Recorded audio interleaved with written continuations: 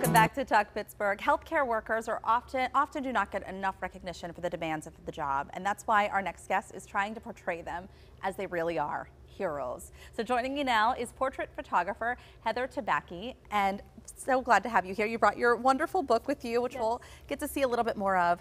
Tell me what inspired you to do this campaign. So uh, during the pandemic, I was spending a few weeks in the ICU visiting my fiance's father, and it really gave me the opportunity to see how healthcare workers were taking care of him, but also how they were showing up for us. And I noticed a disconnect between what I was experiencing and what others were posting about online. And I saw it as an opportunity to give healthcare workers a platform to be able to really share their stories and experiences through powerful imagery and at the same time, it aligned really well with my brand because I focus on an empowering experience type of photography. Mm -hmm. And I couldn't think of a more better group of people to be able to be pampered for the day. So it's called Health Heroes. Mm -hmm. Is that what it is? Yes. And so you took enough pictures to actually create this beautiful book. Yes. And so uh, I saw multiple images in there. We see them dressed as the heroes they are, yeah. but but before that, you can also see them in other situations. Yes, so uh, there are 52 healthcare workers in this magazine, and a lot of times I will photograph them in their health attire, but then I'm also pretty well known for putting people in gowns and crowns, so I also photograph them in my signature style.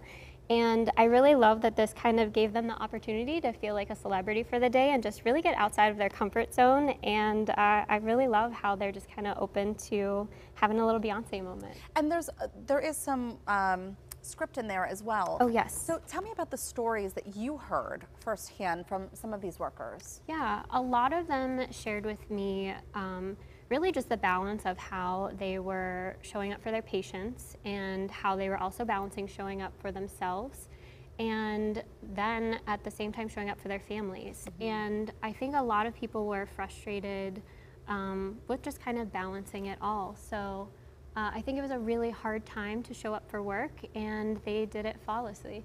And so we're just seeing a couple of the images here. How did you select them? How did you know who to turn to? Yes, so I think a really big common misconception is that people thought that I was picking and choosing heroes, but really the heroes, they chose me. So I was a little bit limited by who would submit their stories. Mm -hmm. And one of the things is I would really love to just encourage any and all people to apply, especially those in a little bit more of a unique area of the healthcare field, so we can really just continue to show a very diverse uh, areas of the field. I mean, we're seeing a bunch of different. I mean, what are we seeing here? Who who are these two? Um, oh, oh, we're and we're. I mean, we're flipping through pretty rapidly. Yes. But I mean, what were some of the unique positions that you saw that that had to show up? I mean, because they all did, yeah. no matter what. Um, one in particular story that really comes to mind for me is my client Alia, and she's a respiratory therapist and also a mom. And when I first met with her, she shared with me the struggles of finding something she could just do for herself. Mm -hmm. So I invited her to come onto my campaign and we really wanted to show a portrait that showed the balance of you know all of her children's stuff in one hand and right. all of her work stuff in the other hand and shortly after I photographed her for the first time, she began to pursue modeling.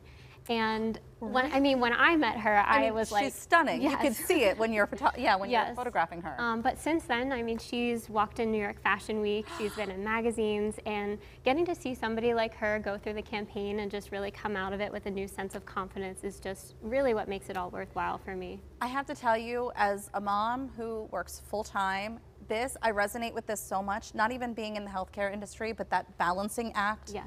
And I feel like my hands are always full, even if they're not. Like even right now, I still feel like there's this weight that I'm carrying around. Yes. To see that, I mean, gosh, it, I mean, it almost brings tears to my eyes. Mm -hmm. So how did this affect you? Because I think that the goal is to have this impact so that people understand. How did it affect you?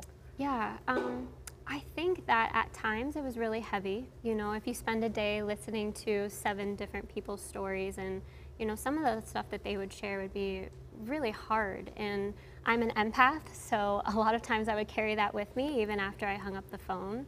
Um, but it really just was so inspiring for me. And, you know, some days I would be thinking, man, I'm having such a tough day at work. And then I'd hear their story and be like, all right, I'm okay today. Like it could be, you know, something Going similar to something what like they're going that. through. Yeah. Where can people find your magazine? Um, so this magazine right now is going out to all of our healthcare workers, and then also uh, we could send it to them if they inquired as well. Thank you so much, Heather, for coming on. I mean, really spectacular work. Thank you Really incredible. so much.